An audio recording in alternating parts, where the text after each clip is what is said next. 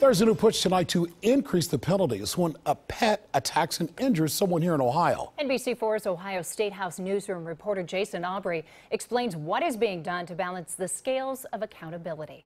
The last General Assembly ended, and that stopped a bill that looked to charge dog owners with a felony if their pet killed someone.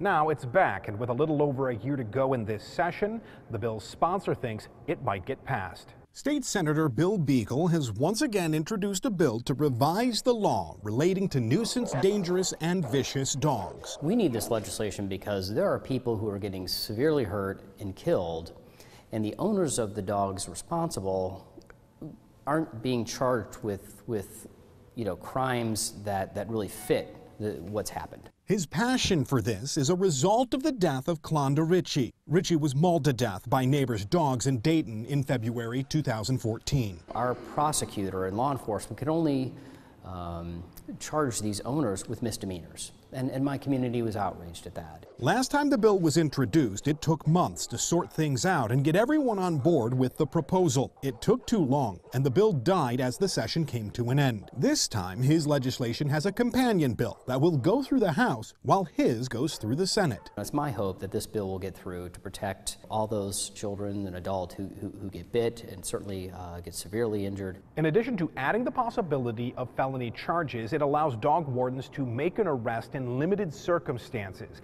and increases the number of years convicted felons must wait before owning a dog.